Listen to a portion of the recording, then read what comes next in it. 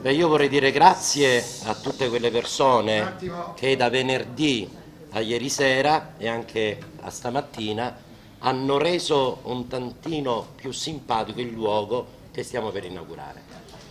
Ho visto gente messa a 90 gradi a pulire i pavimenti che erano molto sporchi, anche perché il bianco ci ha fregati, e a rendere un tantino più simpatico l'ambiente macchine che andavano e venivano dai vari negozi per eh, venerdì sera e sabato sera trovare tende anche se sanno un po' di bordello, no? Eh, che vi posso dire? E tante altre storie proprio perché questo luogo oggi poteva essere aperto. Che cosa faremo qua, dato che l'affidamento non perché da noi richiesto, ma perché da altri richiesto, gestiremo in questi due mesi? Perché dobbiamo essere onesti, questo luogo in modo, mh, come possiamo dire, operativo dovrebbe essere 60 giorni, queste sono le indicazioni che partono dal comune. Noi ci auguriamo che duri nel tempo, che si renda sempre più simpatico, ma noi partiamo da questo, ci è stato dato questo tipo di affidamento per 60 giorni. Già c'è un gruppo di operatori che fanno parte dell'associazione che presiedo che staranno qui presenti a due a due tutte le notti, mentre ci sarà un gruppo che insieme a volontari, noi abbiamo una certa conoscenza sul territorio, che cercherà di, di, di dire alle persone che non hanno mai voluto essere da noi aiutati di venire perché c'è un rifugio. Un rifugio dove si può entrare quando si vuole, si può uscire quando si vuole e, tra virgolette, è un rifugio dove noi chiederemo soltanto una cosa, che non si picchino. Io ricordo, pensate c'era Don Franco Montenegro, direttore Caritas, che abbiamo presentato al Comune del Tempo un progetto con i costi di un dormitorio pubblico. Dall'esperienza che noi avevamo, avevamo fatto anche eh, questo tipo fatto. di studio, ma non è mai andato in porto, tante promesse e niente di concreto. Ora stiamo iniziando da questo.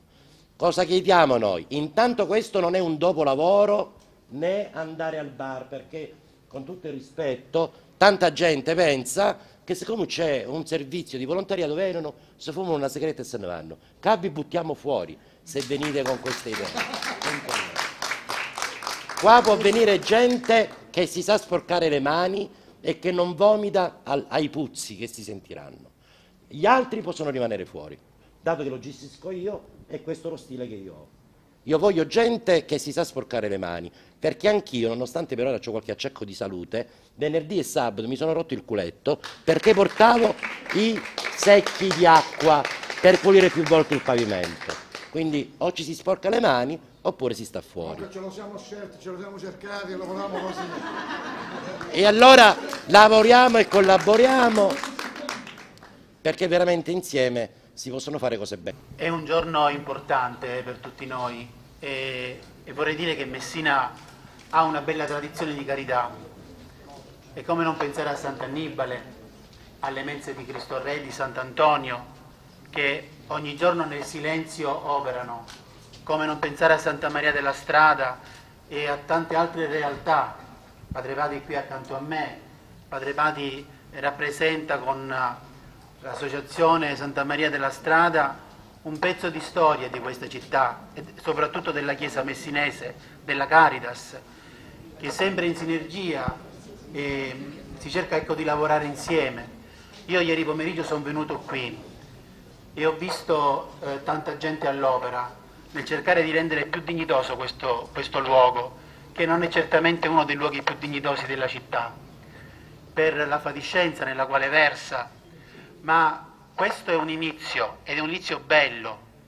E su questi muri marroni eh, bruttini eh, sono stati stampati e disegnati i volti di Martin Luther King.